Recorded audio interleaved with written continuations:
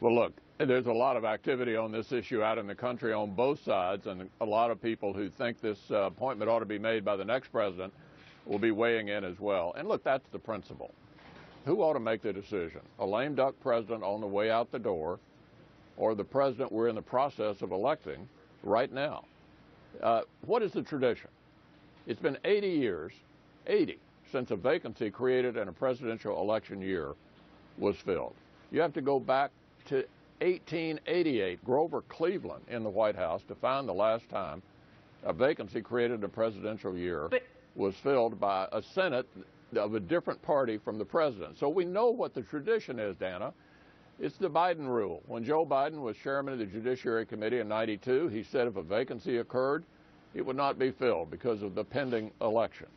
Harry Reid said back in 2005 that even though the president nominates, that doesn't guarantee a vote.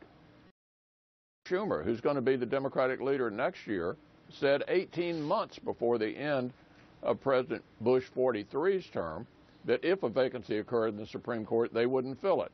So we know what the tradition is.